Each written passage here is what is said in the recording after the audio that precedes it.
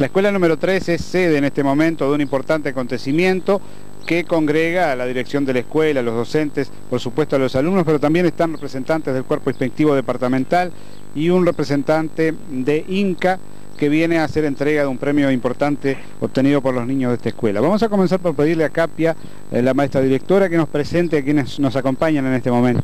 Bueno, tengo el placer de presentarles al señor representante de INCA, este, la maestra coordinadora, orientadora, Elia Aires, el, maestro inspector de zona de la escuela, Luis Zun, la inspectora de zona, Ana María, y el inspector de zona, Silvio Cabrera. Comencemos por el representante de INCA, al cual suponemos que le da satisfacción venir a un centro docente una vez más a entregar un premio tan importante. No, la verdad que para Pinturas INCA es un orgullo el poder estar acá en Tranqueras, ya que estos niños han sido los mejores en el departamento de Rivera. Y bueno, el trabajo realizado por ellos este año ha sido brillante, que va a engalanar el almanaque de Inca que año a año sale con los trabajos de este concurso. ¿El premio en realidad en qué consiste? El premio consiste eh, para los niños en un viaje que ya hicieron efectivo, en que se les llevó a Montevideo, Punta del Este, Piriápolis, hicieron un recorrido amplio, conocieron nuestra planta, recibieron regalos para ellos y a la escuela estos niños le han otorgado 500 litros de pintura, lo que va a permitir la, lavada de cara de la, institución. Maestra Nelly, no sé si recuerda puntualmente el nombre de los niños en este momento, de los, que obtuvieron el, premio. Sí, algunos sí, por ejemplo Pablo Núñez, eh, Zuli Lemos, eh, la, la otra chiquilina Susana Corrales, Em, Luis Alberto Leites, eh, Wilson Rodríguez, eh, Ramiro Rodríguez y el otro chiquilino Santiago, el apellido Pereira, Santiago Pereira.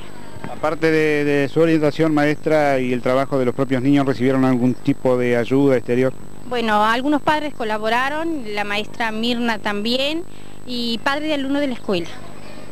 Inspector, eh, usted hoy es testigo de un hecho importante para la Escuela 3, una vez más una escuela de tranqueras, destacándose en, algún sentido, en este caso, en el concurso INCA.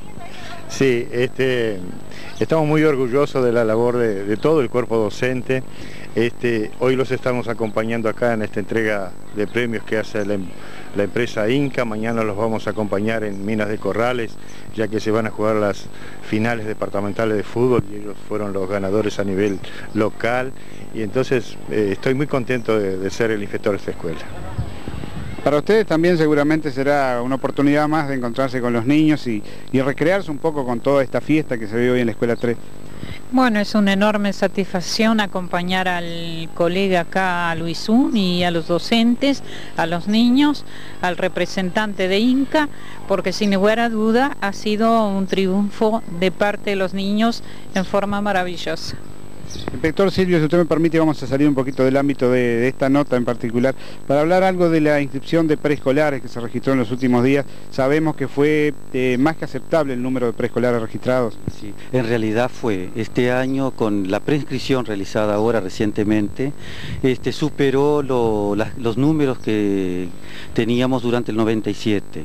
Han superado, y acá en la zona de Tranqueras, este, la escuela 124, ha, realizado una preinscripción de alrededor de 40 muchachos, de 40 chiquitos en cuatro años, lo que amerita la solicitud de un cargo para, de cuatro años para la 124.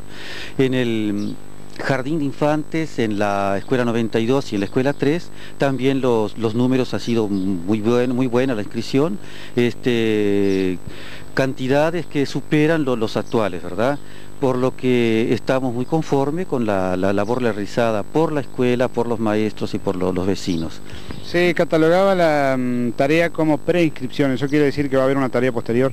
Claro, se llama, eh, Codicen la denomina prescripción, porque ahora todas las cada niño lleva una planilla, las que ya enviamos a Montevideo, a Codicen, para ser estudiadas y para ver la adjudicación de a qué centro docente corresponde.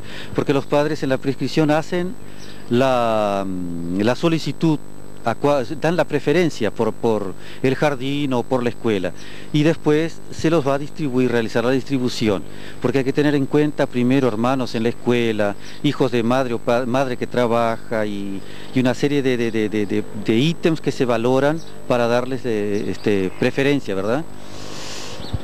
Bien, le vamos a agradecer nuevamente al representante de Pintura Inca que esté con nosotros y con él un poco cerramos la nota eh, reiterándoles la bienvenida a esta escuela y a nuestra población. Bueno, muchas gracias y le reitero que estamos muy contentos de estar acá en Tranqueras y bueno, cumpliremos con el cometido que vinimos a hacer. Maestra, felicitaciones una vez más a las dos, a la escuela, a todos. Eh, con usted cerramos agradeciéndoles por recibirnos y que el acto sea con el brillo que ustedes esperan.